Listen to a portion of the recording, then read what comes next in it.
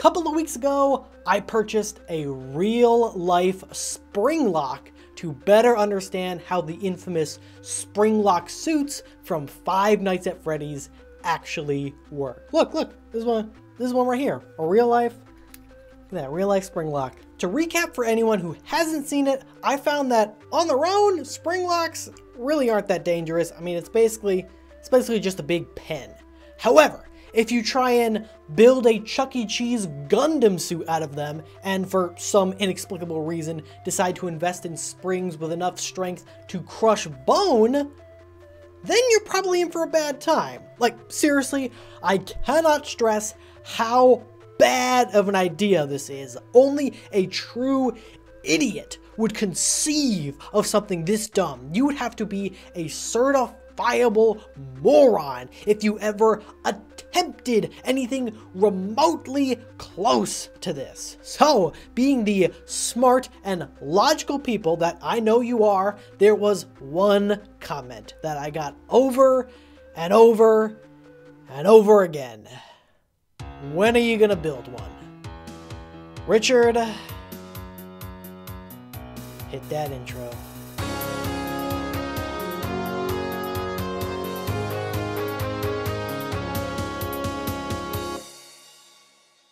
Just as a quick refresher for those of you who aren't an expert in all things Five Nights at Freddy's, which is everyone, these spring lock suits are a special type of animatronic designed for the fictional Chuck E. Cheese inspired restaurant Freddy Fazbear's Pizza, and were designed by a dude named William Afton who also happened to be a serial killer.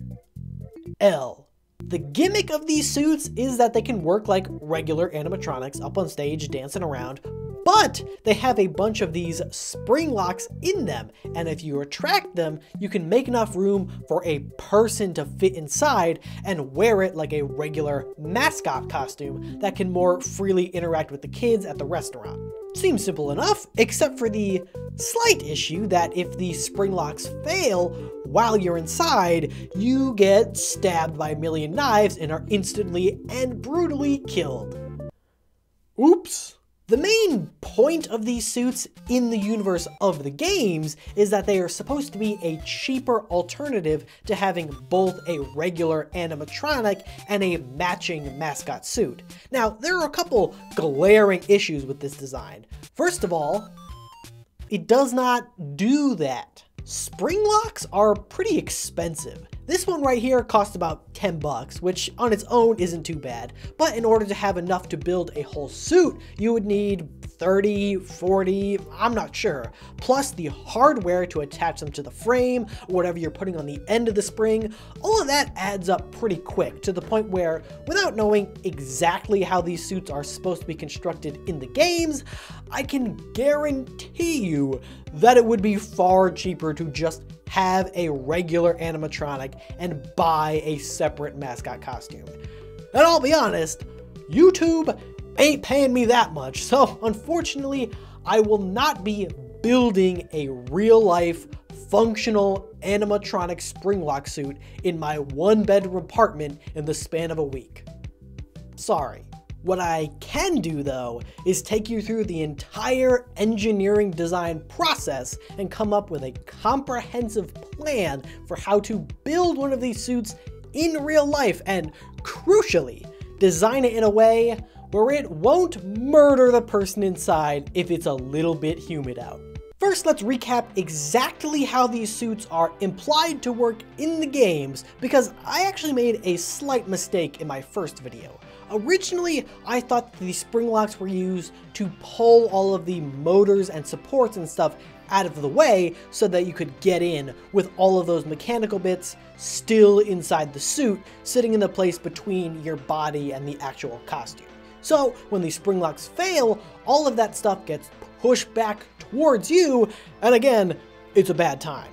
However, a bunch of you let me know in the comments that this isn't entirely correct. Instead, the spring lock suits have a solid endoskeleton, basically just a bare bones skinny robot. The spring locks are all attached to the inside of the costume and have pins on the end of them. So when the spring lock unlocks, the spring pushes the pin into a hole on the endoskeleton, which holds the suit in place. Seems like you could accomplish the same thing with, I don't know, a screw, but whatever. Then, when you want to turn it back into a suit, you pull the springs back, activate the locks, and pull the whole endoskeleton out. So the same basic principles apply, you'll still definitely die if the spring locks fail, just a small distinction that will become important later. That was the only mistake from that video. Other than that, everything I said was 100% correct. Just that one thing. Also, something else that I've learned since that video, I always assumed that these spring lock suits were made of cloth and foam, so, you know, they're like soft and squishy and kids can run up and hug them. But apparently, they are actually made from a series of hard plastic shells. Sure, maybe they put like fake fur over the top or something, it's hard to tell, but that means that canonically, Springtrap stalking around in FNAF 3 would sound like this. Okay, now that we all have an understanding of how the original spring lock suits work and why they suck, it's time to fix it. So here's the plan. First, I'll lay out the requirements for this suit, then I'll go through the basic conceptual design for how to make the thing safer, and finally, I'll create an actual engineering grade 3D model to show the whole thing in action. And you can do with that information what you will. We begin with the first step in every engineering project, defining the requirements. Before we start designing our spring lock suit, we need to have a good idea of what we are designing it to do. As one of my college professors once put it, if we don't know where we're going, how will we know when we get there? That's right. Gandalf taught me engineering. For our case, I've settled on three major requirements. First of all, it needs to be able to function as both an animatronic and as a costume. That's kind of the whole point. Second, it needs to use spring locks to accomplish this. Normally, you want to avoid requirements like this saying it has to use this specific mechanism. That's just not a good practice, and you're limiting yourself unnecessarily. But this is a video about how to make a spring lock suit. It'd be a little weird if I just said, don't. And the third, and let's be honest, most important requirement is safety no matter what happens, whether the suit is functioning normally or malfunctions in some catastrophic way, the people operating it shouldn't have to worry about being skewered from every angle and then turning into a ghost, haunting the very robot that killed them and spending the rest of eternity haunting various pizza places while people continually try to set them on fire, even though it's been shown time and time again that that doesn't really do anything. Which, I mean, seems like a pretty basic ass to me. You know what seems like a pretty basic ass to me? Asking you to help me take that subscribe button to Slam Town. That little bright red devil has been running its mouth. It's been flapping its gums. I even heard it insult your local sports team. So I think we need to hit it with a classic tag team double decker finger jab mega slam combo. On the count of three, I need you to give that red subscribe button cowering below this video a nice solid poke. Send it reeling my way, and I'll finish it off with a slam. All right. One, two, three.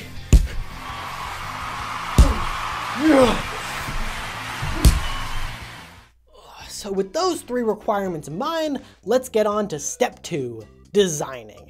The idea of the costume basically being a shell over top of a fully functional endoskeleton that you can pull out is actually, as much as I hate to give Afton any sort of credit, a pretty good idea. The endoskeleton itself can have a pretty basic construction, you don't have to worry about pulling it apart and putting it back together, and it means that none of the motors or beams or anything will be inside the suit at the same time as the person wearing it.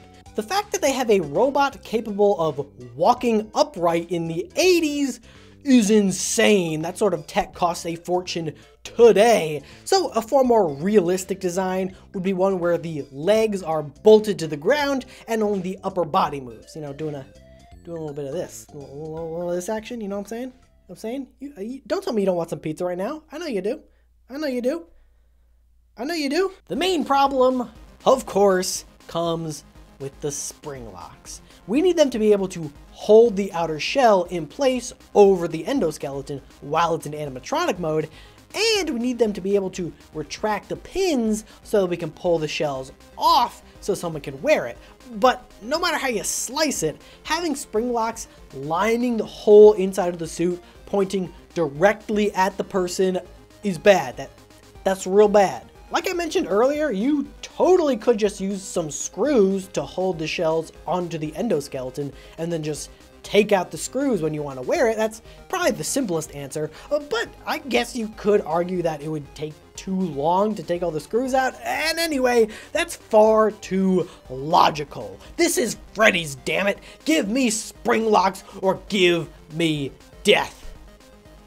Actually, you know what? I think it's the same either way. So, if we are insisting on using spring locks in this suit, then we have to come up with some other solution, some way that eliminates the risk of unwanted acupuncture. But, but I mean, I'll be honest, I don't see how that's possible. We need these pins to hold everything in place, eh, and this is the only way. I mean, no matter what you do, these spring locks are gonna be pointed at the person wearing the suit. It would take nothing less than a certifiable genius, nay, nay, an act of God to come up with a solution that is as effective while remaining perfectly safe. I am but a mere man. How can we possibly use a spring lock in a manner such as this while eliminating all the risks?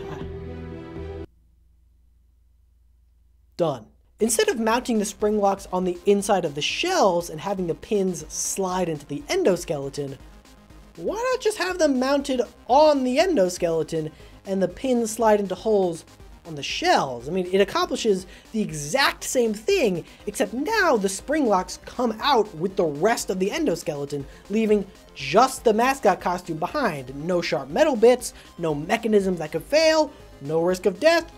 Easy as that. It took me like 30 seconds to come up with. If you're not sold yet or having trouble visualizing what I'm saying, don't worry, because we're moving on to step three, where yeah, I made a whole 3D model using real life, professional grade engineering CAD software. It's actually not as hard as it sounds. It, I mean, it's not super pretty, but I had a day, cut me some slack. So we start off with the endoskeleton. This is a pretty simple model just to give you an idea of the shape. A real one would have to have motors and all the joints, a power supply somewhere, and probably a lot more supports, but you get the idea. And then the suit consists of a bunch of shells that just go around it. Now, if I were making a real suit, I would probably have one solid foam and cloth costume with plastic parts embedded into it that give it some structure and something for us to hold onto, uh, but you can't really model stuff like that in here. So for now, I'll just show the plastic parts and you can use your imagination. Say we're trying to attach something onto the shoulder here. All we would need to do is take a spring lock and mount it on here with some nice heavy bolts or something. Instead of a needle thin sharp pin on the end, I would probably use something a bit thicker with a rounded or even flat end. Because why would you use a razor sharp pin? Why would you do that? You didn't have to do that, but you did. Were you trying to do a bad job? Because you did. Positioned over that is this plastic shoulder piece, which has this hollow round part protruding out here. The cylinder from the spring lock can extend, fit into that hole, and boom, you're good to go. You would then presumably fill this part here with foam or something like that to make it a bit more comfortable to wear, maybe add in some more supports or something, I don't know. As for the actual spring, I would probably use a tension spring. The ones in the game and the ones that I have here are both compression springs, so you push the spring in to lock it, and then when you want to release it, the spring pushes the cylinder back out. You could use the same thing here. It's probably not that dangerous because even if the spring locks did fail, it would probably be while the endoskeleton is sitting off to the side, not in use.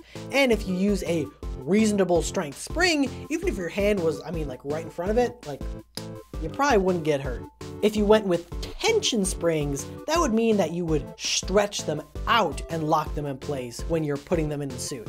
This would probably be better for more firmly holding the shells in place. If these springs are locked when they're extended, they won't be moving around while the animatronic is in motion. And if they ever did fail, it would pull the pins inward, not shoot them out, which is always safer. This does mean that in the event that the spring locks failed while in animatronic mode, the suit would fall off the endoskeleton while on stage, which obviously isn't ideal, but honestly, if you get real good spring locks and not whatever crank BS William was using, I mean like, this thing ain't failing. Then all you have to do is rinse and repeat that design for all the shells, and you're done. When you want an animatronic, you put the endoskeleton inside the suit and you push all the cylinders out. If you're smart, you could probably design this in a way where all the holes and cylinders are self-aligning so you don't have to worry about like positioning everything exactly correct. I mean, the original design would have had to do the same thing anyway. When all the cylinders are out, the shells will be held in place, ready to go. When you want to wear it as a suit, you retract all the cylinders, you pull everything out of there, and you are left with a simple cloth, foam, and plastic costume that will not, crucially, turn you into a meat kebab. So, with that in mind, let's get the rest of those shells on there. People of the internet, I am proud to present my completed model of a real life spring lock suit. Step aside, William Afton. The big boys are here to show you how it's done.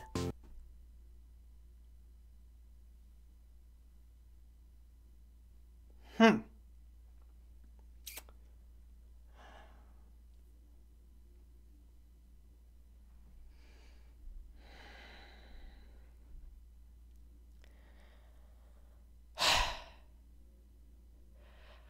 I've made a terrible mistake.